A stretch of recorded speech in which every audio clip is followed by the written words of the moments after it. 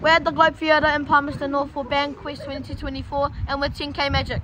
Yeah!